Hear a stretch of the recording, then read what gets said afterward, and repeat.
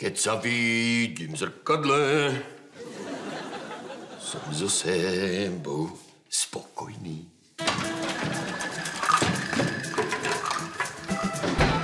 Cyrus.